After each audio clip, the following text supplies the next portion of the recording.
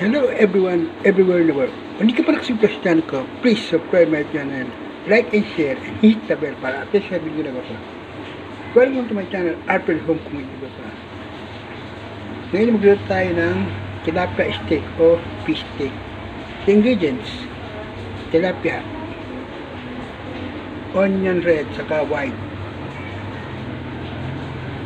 brown black pepper, and soy sauce.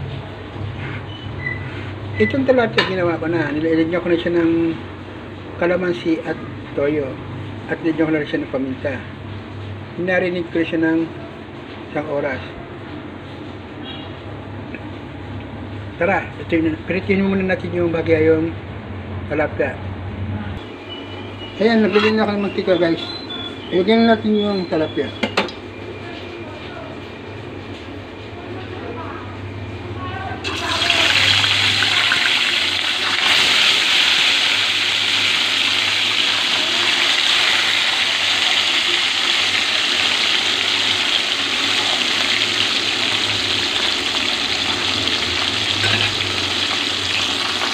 Ayan guys, nilit na natin yung tilapia. Itong flip, marilit ng tilapia. Kung lang tinatapon, yun ilalagay natin palo yung sabaw. So yun yung may mga kalamansi na ito. At brown black. Masarap sa isda yung ano, minamarinate. Katulad din ng mga chicken, pork, yung minamarinate. Mas the best ang isda na minamarinate ito yung kalamansi. Pinag, yun, nakapinda ko ng da at masarap siya.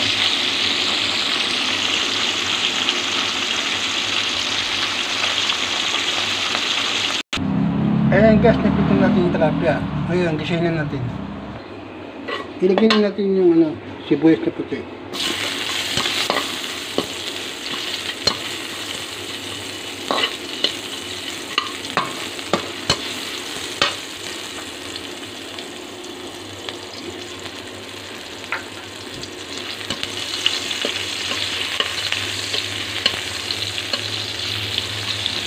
Huh?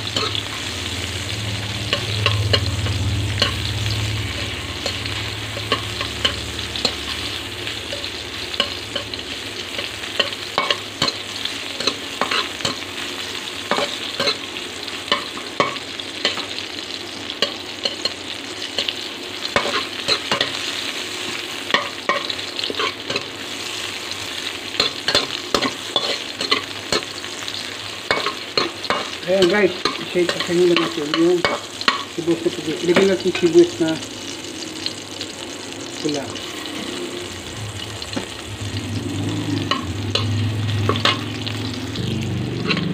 Ayan ilagyan natin yung sibuyas na pula.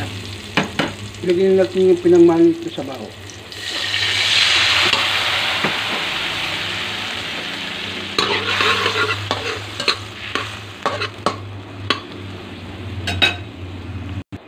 Ayan, okay na siguro yung sibuyas. Lagyan na natin yung tilapia.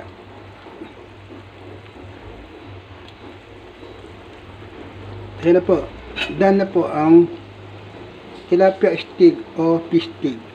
Bye-bye. Good vibes only and God bless us.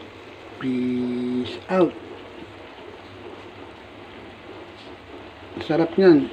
Mar marinated na yung sabaw na ano, bilanit natin. Bye bye. See you in my next video, people.